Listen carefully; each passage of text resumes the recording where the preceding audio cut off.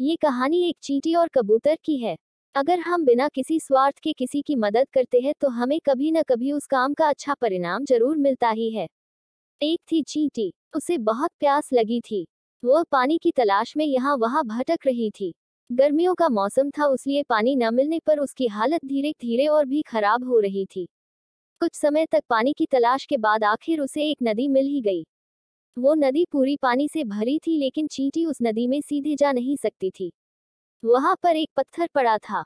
चींटी ने सोचा कि वो उस पत्थर पे चढ़कर पानी में जाएगी। वो पत्थर पे चढ़कर वहीं से झुककर नदी का पानी पीने की कोशिश करने लगती है। पर ये क्या? जैसे ही वो पानी पीने के लिए नीचे की तरफ़ झुकी वो तो पानी में गिर गई। बेचारी चींटी, एक तो उसे बड़ी मुश्किल से पानी मिला था और वो नदी में गिर गई। उसी नदी के किनारे पेड़ पर बैठा कबूतर ये सब देख रहा था।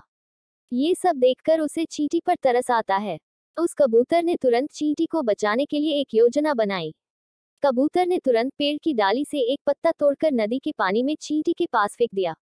पत्ता देखकर चींटी बहुत ज़्यादा खुश हो जाती है और वो उस पत्ते पर चढ़कर बैठ जाती है। जब वह पत्ता नदी के किनारे पहुँचता है, तब वह पत्ते से कूदकर ज़मीन पर आ जाती है। चींटी ने कबूतर से अपनी जान बचाने के लिए धन्यवाद कहा और वो वहाँ से निकल जाती है। कुछ दिनों के बाद उसी नदी के किनारे एक शिकारी कबूतर का शिकार करने के लिए आता है। वो शिकारी कबूतर के घोंसले के पास ही उसका शिकार करने के लिए जाल बिछा देता है। वो शिकारी जाल पर कबूतर के खाने के लिए कुछ दाने फैलाकर वही पास में एक झाड़ी में छिपकर बैठ जाता है। कबूतर को शिकारी के इस जाल के बारे में कुछ भी पता नहीं था। वो तो दाने देखते ही उसे खाने के लिए जमीनन पर नीचे उतर जाता है। जैसे ही वो दाने खाने लगता है कि उस शिकारी के जाल में फंस जाता है। उसी दौरान वो चींटी भी वहाँ पर आ जाती है। उसने ऐसे कबूतर को शिकारी के जाल में फंसता हुआ देख लिया। बेचारा कबूतर काफ़ी कोशिशों के बावजूद भी शिकारी के जाल में से निकल नहीं पा रहा था। शिकारी आकर उस कबूतर को उठाकर चलने लगता है। उसी वक्त चींटी ने उस कबूतर की जान बचाने का फैसला लिया।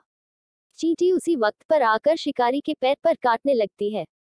चींटी के काटने के कारण शिकारी को बहुत तेज दर्द होने लगा और वो कबूतर के जाल को अपने हाथ में से नीचे फेंक देता है।